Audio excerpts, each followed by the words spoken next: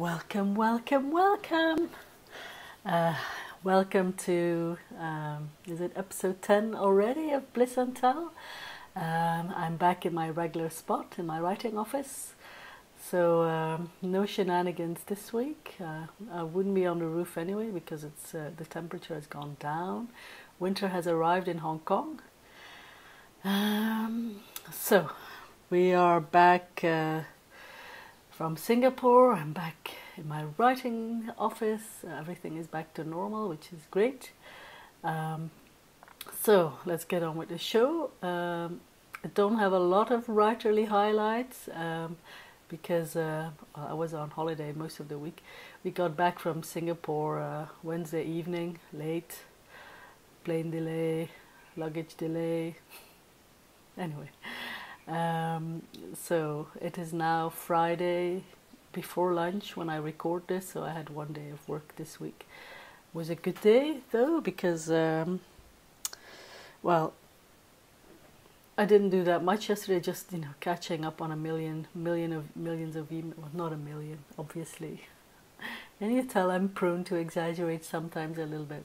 Anyway, uh, the main things that I'll be doing this week, but I haven't actually haven't done yet, that I will be doing this afternoon is I'll be sending Release the Stars to my launch team, which is very exciting. And we'll be sending Christmas Kisses, our the Ladylit mini anthology, to to the distributor. So that will be out next week. So um, that's that's about it uh, work wise. But of course, my highlight of the week was Singapore. Singapore is an amazing city, and uh, we were there for five days, four nights, so almost five full days, and uh, it's great. I mean, it was rainy season, so there were a few downpours, but you know, there's plenty to eat and drink in Singapore. So, uh, so what I to eat mainly, uh, both Caroline and I. Favorite dish is the katong laksa, which is like this noodle in a, in a sort of curry soup curry fish soup. Oh, it's delicious. If you ever get the chance to try the laksa, it doesn't have to be the katong laksa. Just laksa, it's just delicious. We converted uh, Caroline's mum as well. Her godmother was was there, so uh, yeah, it was a fun time. Uh, people are so friendly in Singapore, unlike in Hong Kong. Um, it's, it's just so much more spacious. It's very clean. It's very green just it's it's a very easy city to to wander around in. So I, I really enjoyed. Alcohol is very expensive though. They have these ridiculous these ridiculous taxes on alcohol. Would be good to stop drinking. anyway, so Singapore was definitely my highlight of the week. But now uh, it's back to work, which is you know I don't mind because I love my job. So uh, what's coming next week? Quite a bit. Um, so, to check my list, uh, so I got edits back from uh, Cheyenne, my editor for this book, uh, for Seasons of Love, and it was the first time. Because usually edits are accompanied by you know an editorial note stating all the things that are wrong with the book. You know, always fun to get that, and um, for the first time since you know I've been getting edits back from an editor, it didn't feel like like a massive punch in the gut, which is good, you know. But yeah, this book, Seasons of Love, um, I should no. Anyway, I was gonna say something I wasn't supposed to say. I'll tell you later. So um, I know that's awful, right? I should cut this out, but I don't know how to do that. Um, so next week I'll be working mainly on. Uh, going over all the edits for Seasons of Love, writing probably writing a few new scenes. So that will be done, but Seasons of Love will only be out uh, at the end of January because, of course, I have released the stars coming out first. You know, my crazy plan of uh, releasing full length uh, book every month until the end of December 2016. You know, it's starting now. So uh, it starts when Release the Stars comes out. It's uh, I'm very very excited because you know felt for the longest time it felt like I didn't have anything coming out so I'm super super super excited so next week edits and then we will be doing loads and loads of plotting for um, the spy novel, so uh, which I will start writing um, the week after. So we've we've made some progress. Uh, Caroline and I we we did a bit of plotting in Singapore. Um, came up with uh, you know the outline, the, the overall outline and overall story arc for for the series for our main character, which of which I will rename uh, reveal the name soon. I hope. Um, so we made progress, but we, there's a lot of details that we that we need to write down and get sorted out. So next week we will be doing a lot of plotting. So um, and then of course Christmas Kisses will be out, our uh, Christmas anthology, mini anthology. You know, with the usual uh, five uh, authors, of which I am one. So that's all for next week. So well. There, there are not that many writerly things to talk about this week, so we'll talk about. Uh, I'll just talk about me, you know. As I said to my wife, I'll just talk about my favorite subject, me. so I thought since the year is about to end, you know, there's only a couple of years, le- a uh, couple of weeks left, I would talk about my two favorite books uh, of the year. So I'm doing the Goodreads challenge. You know, I wanted to read 30 books this year. I, I've I've read 29. So I just started my 30th. Actually, I've read I've read quite a few more, but you know, I don't I don't list all my bo- all the books I I read on Goodreads. So um, my two favorite books. Uh, one is literary fiction. It's called A Little Life, and I need to read the name of the author because I cannot remember. Hanya Yana Gihara. I'm probably not pronouncing that right at all, but the title of the book is A Little Life. Um, and um, this is, there is no contest. This is my book of the year. This is the best book I've read all year. But um, to say that I would recommend it, I haven't even recommended it to my wife because usually, you know, I read a book and I say to my wife, "Oh, you have to read this book." But this one, I I just it, it is a grueling book. You know, I think the theme of the book is you know just how how much pain can one person endure in in their lifetime. You know, and the main character he goes uh, Jude. Oh, what was his last name? The main character, an orphan. He gets he needs to endure a lot, and it is absolutely grueling. I stayed up quite a few nights with this book. Well, not yeah, and I I was just reading in bed, and Caroline was already sleeping, and I was just crying, crying, crying. It was, I mean, in ways, it's an it's an absolutely awful book. It is the opposite of uplifting, but uh, it's written beautifully, and it's just you know it, it was a journey, and it was just you know there was even though some passages were just too much you know like you know like the stuff of nightmares not not not like horror or anything it's just but um i had to keep on reading you know it was it was it's definitely my book of the year and to say i would recommend it if if if your main genre is lesbian romance with happy endings I wouldn't. Then I wouldn't recommend it. It's it's also it's a very long book. I think it's about seven hundred pages,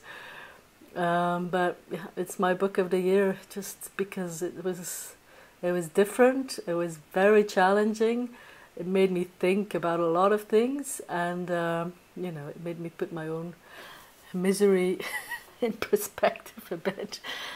So that was one of my books of the year. The other one uh, is a spy novel, I Am Pilgrim, uh, by by Terry Hayes. Uh, I really, really enjoyed that book. Uh, this was like a real page turner, and this is like the kind of book that I that I want to write myself. But then, you know, with a lesbian protagonist, how, how awesome would that be? I kept saying while I was while I was reading this book, I said, oh, I kept saying to Caroline because you know I, this is one of the books that I told her, ah, start reading this now. And I said, oh God, would, how awesome would this book be if the main character was a lesbian? So this is what I want to do, right? So uh, I really, really enjoyed enjoyed that book. I love that it was written in uh, in first person, present tense, which is my favorite part. So oh, something happened. Oh, I don't know. My screen went black. Couldn't see myself for a second. Uh, so these are my two favorite books of the year. Um, so they're not lesbian romance because I, I think I've, t- I've, I've talked about this before. I, I actually don't read a lot of lesbian romance because I read to relax and, and well I read I read what we publish obviously um, and I'm going to read Cheyenne Blue's new book Never Tied Nora because you know she's my favorite uh, lesbian fiction author she's so good um, I get the privilege of working with her as my editor so uh, I'm gonna read that so that's that's gonna be my lesbian romance book of the year um, uh, what was I saying? Uh, keep losing, losing my train of thought again, which is, you know, a regular occurrence. So, my two favorite books of the year. And what else I want to say? Oh, yeah, I was going to talk about myself a little bit more. Um, so, as of Monday, I am uh, going to start. I'm so sorry. I think I just had breakfast. Um, no G&Ts involved this time of the day. So as of next Monday, I would like I'm going to start a seven week detox and elimination diet because I mean 2015 has has been you know an overall pretty awesome year. You know we moved to the island, all of that. Work has been good. Uh, my books have done well. All of that fine. But health wise, it has not. It has been my worst year ever, probably not just you know because my surgery went wrong during the summer although that was that was very traumatic for me because I never had surgery before and to have to go through all that shit afterwards and the leeches and the endless doctor visits and another surgery and rotting flesh inside of me it was it was quite traumatic but aside from because I mean well actually my wound I still have a wound on my right breast that is like teeny, teeny, teeny, tiny, but it's still a wound. And it still hasn't completely healed yet. So, uh, but aside from that, I've been, you know, I have gravely neglected uh, my health. Uh, Hong Kong has not been good for me, you know. I drink too much. I drink too much alcohol. I eat too much takeout because, you know, Hong Kong kitchens are tiny, tiny. And uh, I sit, I sit on my ass too much. You know, I'm a writer you know what I do is I sit down and I write and I bang out words like this is how I write you know two fingers which is which is not a good way to write because I have my shoulder hurts my wrist hurts all of that. So um, you know plus I have a lot of other uh, pains. It's been a very painful year for me physically not mentally but uh, physically I've been in a lot in a lot of pain uh, this year. And I would like to uh, I would like to change that. So uh, next week is the like the the preparation week where I stop drinking coffee and alcohol. Coffee shouldn't be too much of an issue. I actually only started drinking coffee like two years ago. I can drink green tea instead. That's not that much of an issue. But alcohol, that's going to be an issue. Because, as I said, you know, five o'clock is gin o'clock. What am I gonna do? So I'll keep you posted on that. And then the other week, I uh, I already cut out sugar for a week. This was because when my family came to visit, they and my mom's friend brought like an entire suitcase of candy, chocolate, all sorts of chocolate. It was just too much, you know. And when I have it in the house, I want to eat it. This, this is the worst thing you can bring me, I thought to myself. I didn't say to, to my mom's friend. Obviously, I thanked her profusely for bringing me all this chocolate, but I cannot have it in the house. It's just all this sugar. So uh, um, I'll be cutting out uh, sugar again as well. And then when this the six week program actually starts, I'll talk about that next week. But um, I'll be cutting out gluten and dairy as well. So there's not much left really. What am I gonna eat? Plants. I'll let you know. Might be cranky next week. We'll see. Or maybe I'll just feel really good, you know. So on to the questions. So, Nikki, uh, questions from Nikki and Wendy, my two uh, regular question askers. Thank you so much, ladies, for this. So, the question from Nikki is Have you ever watched Queer as Folk? And yes, I have. Uh, I've watched the UK version and the US version, enjoyed them both. Um, maybe I enjoyed the US version a little bit more because uh, they have a they have a lesbian couple prominently featured. It's not the case, I think, in, um, the UK version. I actually don't remember. It's been years and years. Also, the UK version was much shorter than the US version, and I loved the mother, Debbie, the one who is played by one of Cagney and Lacey. Oh, I cannot remember her name. Not Tyne Daly, the other one. Oh, my wife, she would know. Where is she when I need her? Uh, anyway, I I have watched it and I have thoroughly enjoyed it, even though it was completely over the top sometimes. You know, just like the L word. You know, all we want is a little bit of representation. There is much more of that now, of course. You know, back in the day when Queer as Folk came out, it's pretty revolutionary, right? Just like the L word. So um, yes, I um, I have watched those. And Nikki had another question. What other genres of books do you like to read besides spy, mystery, erotica, and romance? Sci fi, horror, or fantasy? Well, I kind of already. I talked about my two favorite books of the year, and basically, um, they're in the genres that I read. I, I like to read some pretty highbrow, not too much though, literary fiction. I do enjoy that and um, I like uh, I like a good thriller, and these are the main. And I also read a lot of nonfiction. Actually, I read a lot of nonfiction about writing and marketing and craft, you know, for for work.